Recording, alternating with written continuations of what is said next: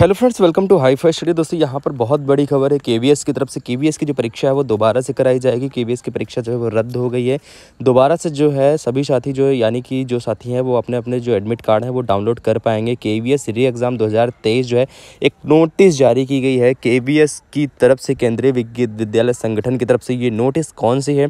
तो दोस्तों, ये एक नोटिस जारी की गई। चलिए, पूरी खबर पर नज़र डालते हैं और इस नोटिस में आखिरकार ऐसा क्या है, वो चीज़ देखते हैं यहाँ पर। दिनांक अट्ठाईस दो दो सेकेंड शिफ्ट को निम्न परीक्षा केंद्र पर आयोजित प्राथमिक शिक्षा के कंप्यूटर आधारित परीक्षा भर्ती जो है द्वारा प्रशासनिक कारणों से निरस्त हो गई है। मुजफ्फरपुर डिजिटल सेंटर जो है वो, बरिया रोड, दादर अहियापुर, मुजफ्फ़रपुर, बिहार की तरफ़ से है ये। बिहार का एक ऐसा सेंटर है जहाँ पे जो एग्ज़ाम कराया गया था, ये कंप्यूटर सीबीटी टेस्ट जो है कराया गया था और ये जो है पूरी तरीके से ये जो सेंटर के जितने भी साथियों ने सेंटर परीक्षा दिया था, उन सभी की जो परीक्षा वो रद्द हो गई है और दोबारा से इनको परीक्षा कराना पड़े, यानी दोबारा से इनको परीक्षा देना पड़ेगा।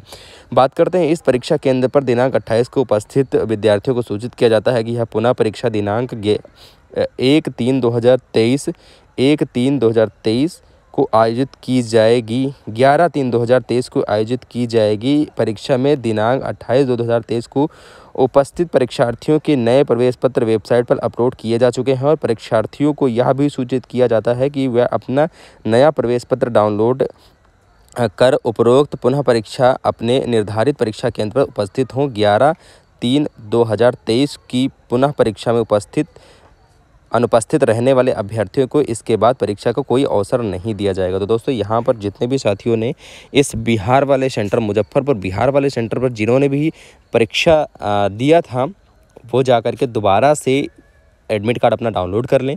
एडमिट कार्ड कैसे डाउनलोड करना है, इसके बाद मैं नेक्स्ट वीडियो में आपको बता दूँगा हर चीज़ कैसे कैसे डाउनलोड करना है, कहाँ कहाँ पर जाकर डाउनलोड करना है, वो सारी चीज़ मैं आपको बता दूँगा, ठीक है?